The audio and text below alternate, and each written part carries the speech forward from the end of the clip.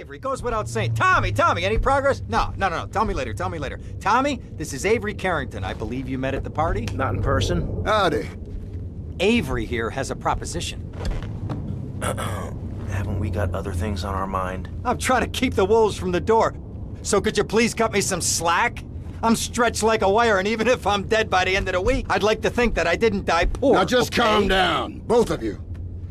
Son, you help me, and any greaseballs giving you a hard time, I'll see to it they take a long dirt nap. Okay. What can I do for you? This delivery company's got its depot on some prime land. They won't sell.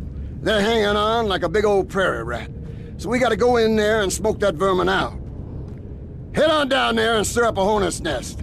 The security will have their hands full, and then you can sneak in and put them out of business. And you could drop by Rafael's for a change of clothes. You might be there a while, but yeah, go for it. Should be a riot. If the balls drop like they should, stop by my office sometime. Who are these pricks anyway? Lawyer pricks, rug wearing pricks, surrounded by pricks.